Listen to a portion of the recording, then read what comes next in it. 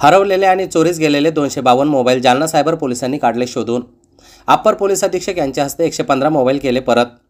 जालना जिल्ह्यातून विविध भागातील हरवलेले आणि चोरीस गेलेले मोबाईल जालना सायबर पोलिसांनी तांत्रिक पद्धतीने दोनशे बावन्न मोबाईल शोधून काढलेत. त्यापैकी आज एकशे पंधरा मोबाईल अप्पर पोलीस अधीक्षक यांच्या हस्ते परत करण्यात आलेत.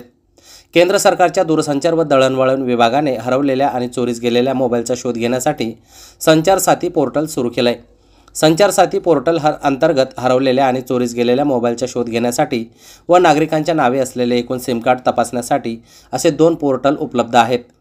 सदर पोर्टलचे पोलीस ठाण्यातील अधिकारी कर्मचारी यांना हाताळणी प्रशिक्षण देण्यात आलंय.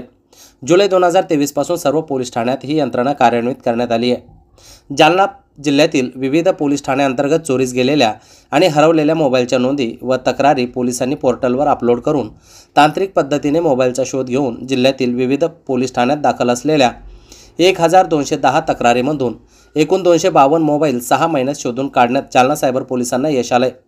त्यापैकी आज अप्पर पोलीस अधीक्षक यांच्या हस्ते एकशे पंधरा मोबाईल फिर्यादींना परत करण्यात आले ही कारवाई पोलीस अधीक्षक शैलेश बलकवडे अप्पर पोलीस अधीक्षक आयुष नोपानी यांच्या मार्गदर्शनाखाली पोलीस निरीक्षक शालिनी नाईक सहाय्यक पोलीस निरीक्षक सुरेश कासोळे सहाय्यक पोलीस निरीक्षक संभाजी वडते पोलीस कर्मचारी पाटोळे राठोड हिवाळे निकम मांटे भवर गोसिंगे मुरकुटे पालवे नांगरे दुनगहू यांनी केली आहे.